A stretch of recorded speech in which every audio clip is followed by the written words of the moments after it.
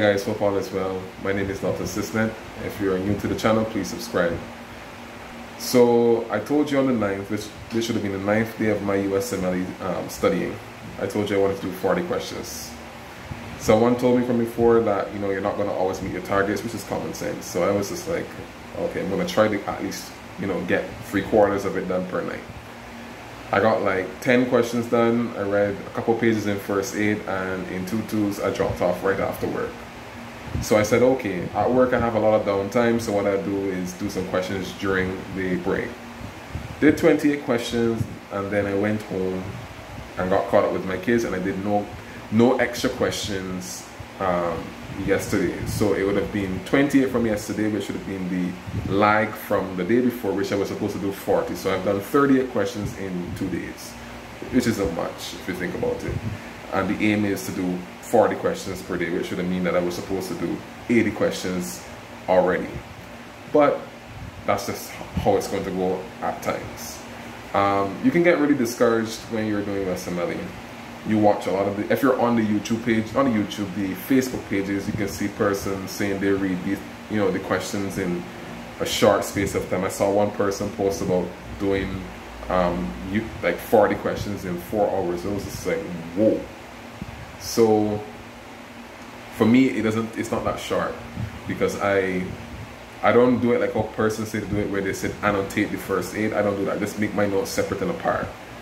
And that's what I do what I did, what I found was interesting is that I actually reviewed some questions that I had done before the ninth um, yesterday, and I got some of them wrong again. So I was just like, what is going on here? Because I mean, if I'm studying and I've done questions within the last nine days, I shouldn't be getting the same questions wrong, and I should have my answers justified. But there's silly mistakes, and they're mistakes that it's better to make now than to make in the examination. Um, today was a slow day at my office um, when I talked to a lot of the GPs in the area, they say the same thing that you know COVID knocked out their their patient base, so they're not trying to build back up. So I'm not too discouraged. Actually, I'm actually more encouraged now because I'm seeing a little a little change in the number of patients, and if it was to trend upwards, I mean, school and this examination could be a, a, a definite possibility. Um, so I'm just being patient. I mean, some days some days I must say I'm, I'm a little bit less impatient or less sorry I'm a little bit more impatient than others but it's looking up very very like a, this but oh, but it's looking up so tonight I'm gonna try to catch back up on the number of questions today I was supposed between the ninth and today I was supposed to have done 120 questions I've only done 38 so my aim tonight would be 40 if I can. When I get home, I'll sleep and then I'll try to do uh, 40. If I can do more, even better. If you have done USMLE and you've done UWorld before, you know it's very, very challenging to get into the groove of doing 40 questions per night and read the answers and the both right and wrong answers and the justifications of the answers. So it's it's not that easy and I don't know how people do 40 questions straight. I don't do 40 questions straight. I, what I'll do is do 10, relax a bit, 10, relax a bit. And I just wonder how that will be when it comes to the real exam because the real exam is 45 minutes, um, 45 minute blocks and there are eight of these blocks. I always wonder how I'm going to manage sitting down for eight hours straight. So I, I need to get my stamina up. So tonight what I'll do is try to do um, 40 straight and then afterwards do, so I'll eat rest, wake up, do 40 straight, and do maybe if I can do another 40 straight to see if I can catch back up and move from there because I this this exam is about stamina more so than the it's different from the MRCS. The MRCS examination is like if I remember correctly six hours and it's two three and a half three hour papers but it's one subject which is surgery while USMLE is everything so it's going to be kind of challenging to focus on on the um focus for 45 minutes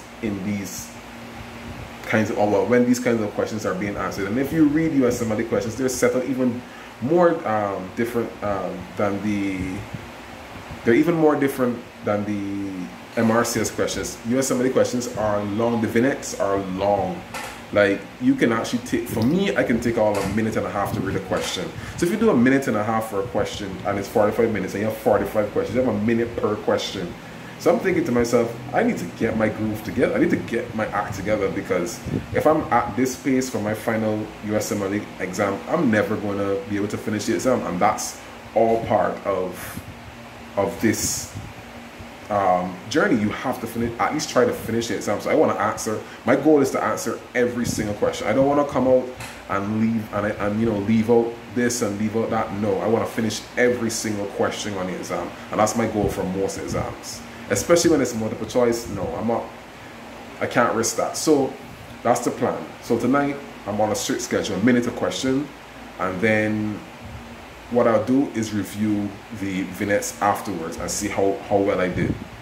Because if I review the, vignette, um, the vignettes and the, and the questions right after, the answers right after I do the question, then obviously that will take longer than the minute that you require. So just answer all the 45 or the 40 questions and then after, then afterwards I'll review the answers for each question and see if I got it right. So that's my plan. Um, guys, I know some persons might be feeling a bit down because of the COVID um, pandemic.